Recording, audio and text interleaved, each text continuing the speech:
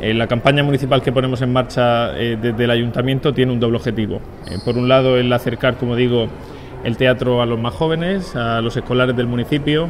que sean espectadores, que mm, vean los valores que transmite las artes escénicas, el compañerismo, también que bueno, pues se inculquen las ideas, los conocimientos para poder ser libres, para pensar con, en libertad, eh, con criterio propio, y también por otro lado que pasen de ser espectadores a ser auténticos protagonistas encima del escenario y que mm, se diviertan con sus compañeros, eh, que disfruten, eh, que pierdan el miedo escénico, que pierdan el miedo a hablar en público. Bueno, pues en definitiva todos los valores que se inculcan a través de las artes escénicas y en este caso del teatro en concreto. El teatro es algo fundamental y es algo que queremos potenciar desde el gobierno municipal. Ayer presentamos los presupuestos en el que, por ejemplo, va destinado medio millón de euros para iniciar el proyecto de reforma del nuevo Teatro Circo. También, precisamente aquí en la Casa de la Cultura, en el Centro Cultural Ramón Alonso Luci, estamos mejorando las infraestructuras culturales para hacerlas más accesibles, para dotarlas de mayor contenido y de mejor calidad. O, por ejemplo, hace unas semanas conocíamos que la comunidad autónoma va a destinar 5,6 millones de euros para arreglar el cine central. Son ya 14 años lo que llevamos colaborando con este, con este programa, en donde han pasado por aquí en torno a 93.000 alumnos.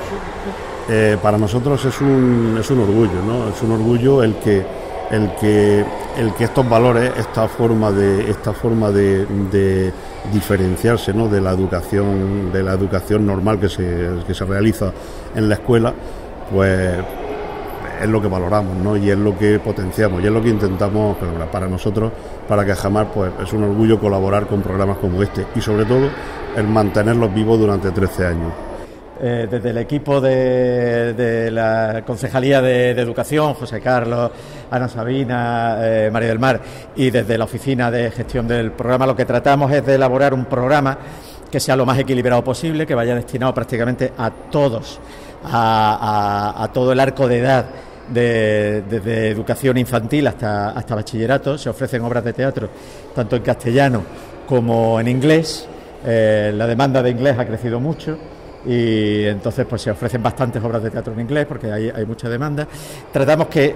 incorporar el máximo de disciplinas teatrales posibles que haya mucho teatro musical, que haya teatro de títeres, que haya teatro de actores, es decir, que sea muy variada la oferta, que la oferta dure durante todo el curso, es decir, desde el mes de octubre, que comenzamos hoy precisamente, hasta, hasta el mes de abril, hasta el mes de abril prácticamente ya finalizando el curso, todos los meses los, centros educativos tengan al menos una o dos ofertas de teatro educativo diferentes y bueno, y desde, desde, la, desde la Concejalía de Educación se hace un esfuerzo muy importante porque eso sea así, por abarcar a la totalidad de los escolares del municipio y se hace también de una forma solidaria extensivo a las localidades del entorno, de la comarca, que sería toda la comarca del campo de Cartagena. Pero dentro del, programa Educateatro también hay obras que los chicos, los alumnos, interactúan con los, actores.